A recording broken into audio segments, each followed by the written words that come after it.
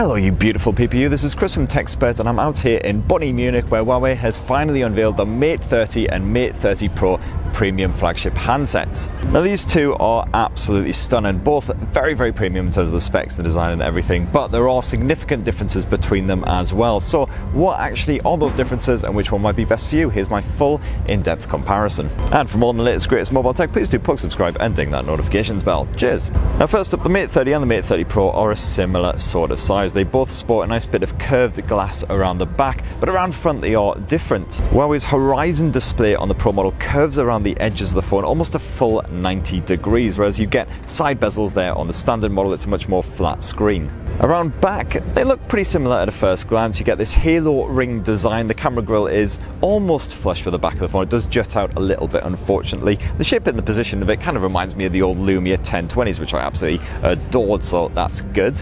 You've got a few different finishes here from full-on glossy glass to a nice bit of vegan-friendly leather action as well, which are more durable and kind of look and feel nice. And the green Pro model also sports a very funky gloss to matte gradient finish. So the bit that you hold actually feels a bit rougher, has that sort of matte texture, doesn't get all smudgy and it gives a nice bit of anti-slip resistance as well. The Mate 30 Pro is also IP68 water and dust resistant, while the standard Mate 30 is only IP53, so don't go getting it too moist. As I mentioned before, the Mate 30 Pro has that absolutely stunning curved screen, curves almost a full 90 degrees around the edges. And both the Mate 30 and the Mate 30 Pro have a very chunky notch up top as well, although it's a bit slimmer on the Mate 30 as it just has a selfie camera. On the Mate 30 Pro, it's a bit more complex. And this includes a selfie camera, a 3D depth camera, an ambient light sensor, and a new gesture sensor as well. You can actually scroll up and down through your websites by literally waving your hands about and take a screen grab by literally grabbing at the air if that's your bag.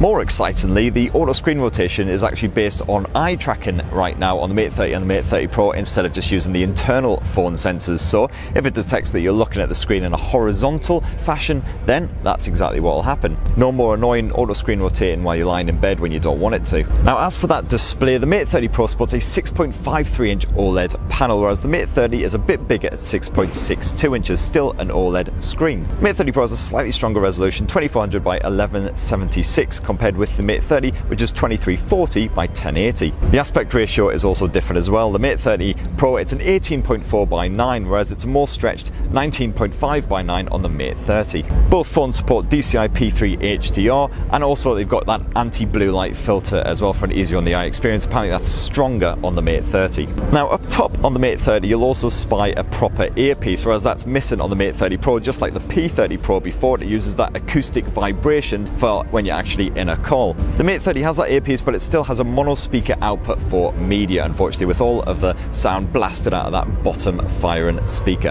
And while the standard Mate 30 has a volume key as usual, on the Pro that's actually missing because of that curvature. Instead, what you need to do is double tap the edge of the Mate 30 Pro, and then this will pop up the volume levels, and then you just slide your finger up and down that edge in order to change it. It actually works surprisingly well. It's much better than the likes of Sony SideSense. And a similar sort of method is used for taking selfies as well, using that front facing camera, you've got a little virtual button which can be moved up and down the side of the screen to suit your own particular finger size, I guess. Now, of course, one of the more intriguing aspects of the Mate 30 handsets before launch was what software were they going to come packing, and the answer is Android 10 with a bit of Emotion UI 10 launcher action smothered lovingly on top.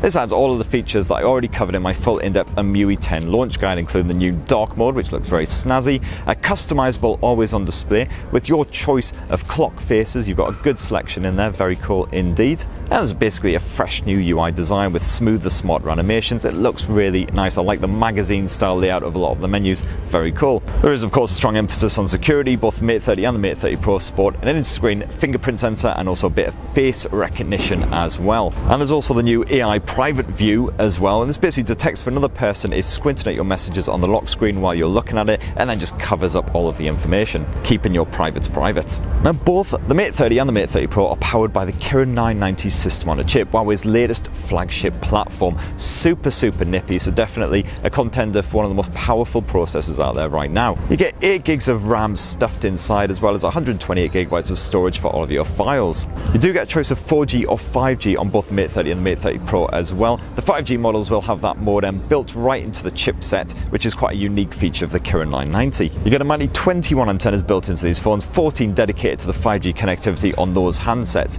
Uh, Uh, so eight separate bands are supported for 5G, the most in any smartphone to date. And both phones support dual SIM as well, one 5G card and one 4G card, or you can sub that second SIM for one of Huawei's proprietary memory cards. As for the battery life, it's a 4,500 milliamp cell in the Mate 30 Pro, nice and big, 4,200 milliamp in the Mate 30, so not far behind. You get full 40 watt supercharge support and 27 watt wireless charging support on both phones as well. And of course, there is a bit of reverse wireless charging as usual. And what about that camera tech? Well, on the Mate 30, you get a triple lens setup. It's a 40 megapixel f1.8 primary lens with a super large RYYB sensor capable of sucking in lots of light. Your ISO level goes all the way up to over 200,000 max. And it's capable of impressively sharp macro shots as well, thanks to the sensor tech and the laser focus. This is backed up by a 16 megapixel ultrawide f2.2 lens and an 8 megapixel telephoto f2.4 lens. This one with optical image stabilization built in. That gives you up to three times optical zoom and 30 times digital zoom. It is a very different setup on the Mate 30 Pro, though here you get a quad lens setup. The main camera is a new super sensing wide 40 megapixel primary effort with an f1.6 aperture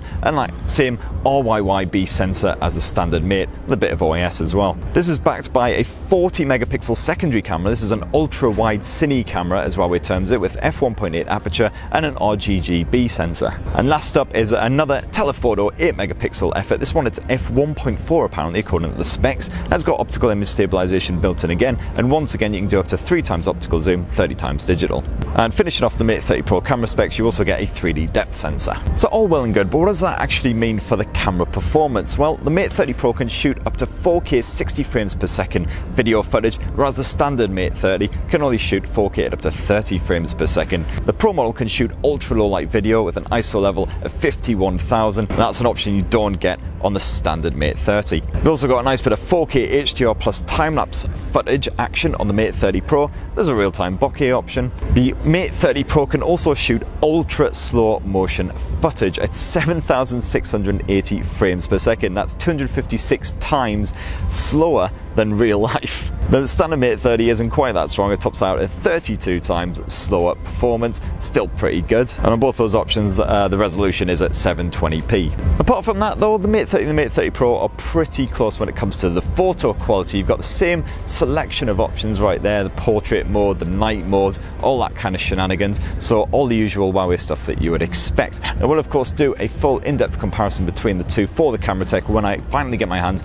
on both of these handsets. That right there, in a nutshell, is how the Mate 30 and the Mate 30 Pro stack up. The Mate 30 is of course cheaper at 799 euros, whereas the Mate 30 Pro starts at 1,099 euros. So are you tempted by the Mate 30 or the Mate 30 Pro, or perhaps neither? Definitely let me know which one is your Huckleberry down in the comments below. And thanks for watching everyone. Please do poke subscribe and ding that notifications bell